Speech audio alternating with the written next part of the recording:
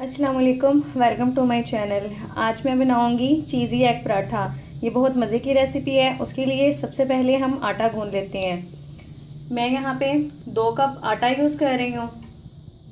Three tablespoon cooking oil half teaspoon sugar half teaspoon नमक, एक अंडा और थोड़ा सा पानी आटा गूंदने के लिए।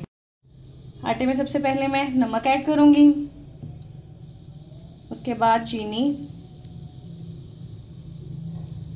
कुकिंग ऑयल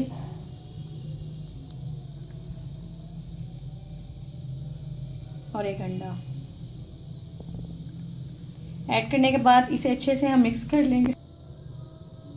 इसे अच्छे से हम मिक्स मिक्स कर लेने के बाद इसे अच्छे से अब मैं इसमें पानी ऐड करके इसे आटे की तरह अच्छे से गूंद लूँगी। इसे अच्छे से मैंने मिक्स कर लिया है। पानी ऐड करने के साथ हम इसे अच्छे से गूंद लेंगे अब।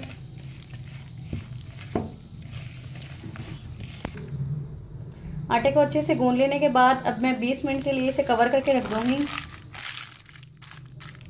आटा गूंद के मैंने साइड पे रख दिया है, तब तक मैं अंडे की फिलिंग तैयार कर देती हूँ। उसके लिए मैं यहाँ पे दो अदद अंडे, स्मॉल साइज़ का हाफ़ टमाटर, लंबाई में मैंने इसे कट किया है, प्याज बंद गोभी, तीन से चार अदद हरी मिर्च, शिमला मिर्च, हाफ़ टी स्पून सुरख मिर्च, हाफ़ टी स्पून ज़ीरा powder and half teaspoon नमक। चीज़ इसमें हम क्रश करके बाद में ऐड करेंगे। बाउल में मैं अब सब चीज़ें ऐड कर लूँगी। अंडे। टमाटर, प्याज बंद गोभी शिमला मिर्च, हरी मिर्च ऑल स्पाइसेस ये सब चीज़ें ऐड करने के बाद इसे अच्छे से मैं फेंट लूँगी।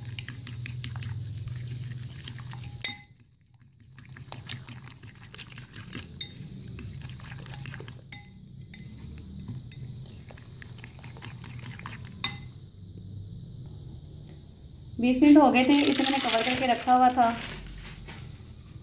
अब एक दफ़ा मैं इसे अगेन हाथों पे ऑयल लगा के अच्छे से मिक्स कर लूँगी।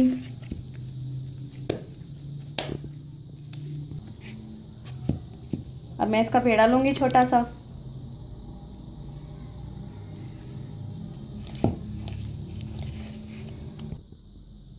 पेड़ा बनाने के बाद इसे ड्राई फ्लोर में मैं ऐड करूँगी।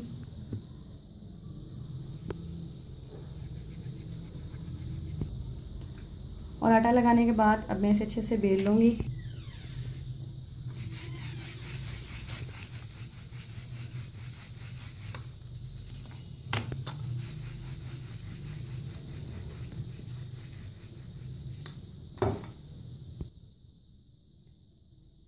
इसमें मैं ऑयल को अच्छे से फैला दूँगी।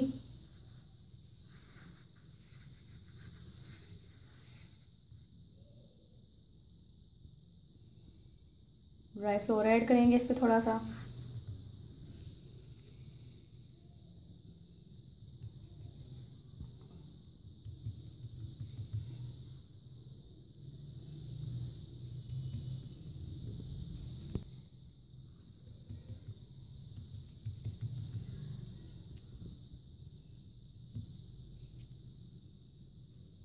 अब मैं इसे अगेन ड्राई फ्लोर लगा के बेल लूँगी। रोटी को मैं चौरस शेप में बेल लूँगी।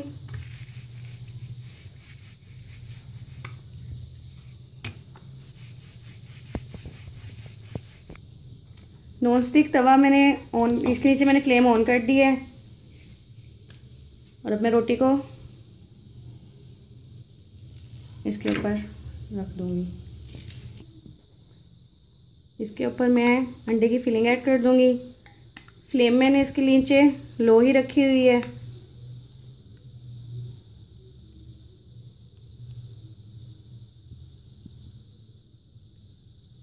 इसे अच्छे से इस पर फैलाने के बाद अब मैं इसके ऊपर चीज़ ऐड कर दूँगी। चीज़ को मैंने क्रश कर लिया है।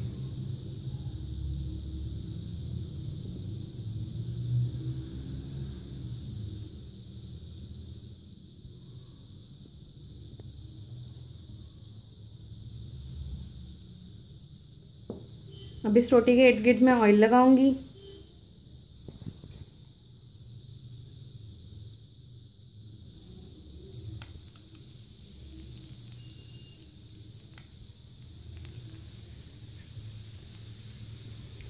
ऑयल लगाने के बाद इसे मैं फोल्ड कर दूँगी। इसे अच्छे से हम चारों साइडें इसकी फोल्ड कर देंगे। दोनों साइड इसकी फोल्ड करने के बाद इसे थोड़ा सा पकाएँगे हम दूसरी साइड से। फिर हम इसकी साइड चेंज कर देंगे। अब मैं इसकी साइड चेंज कर दूँगी। दूसरी साइड से भी इसे अच्छे से पकाने के लिए। ये दोनों साइडों से अच्छे से बन के तैयार है। इसके नीचे फ्लेम बंद कर देंगे हम। और फ्लेम बंद करने के बाद इसे प्लेट में निकाल लेंगे। मीट में से मैं इसे कट कर लेती हूँ।